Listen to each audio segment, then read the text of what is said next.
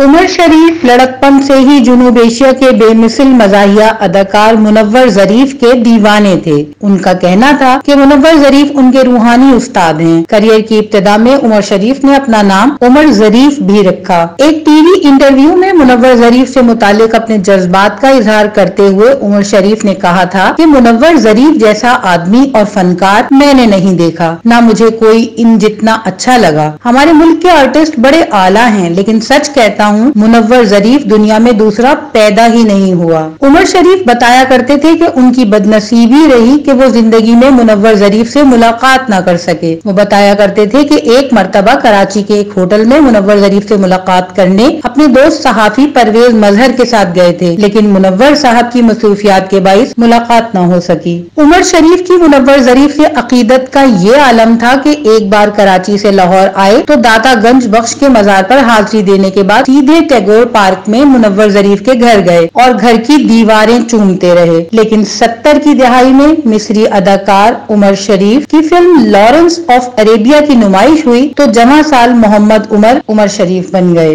Rubina Zafar, prison news, Karachi.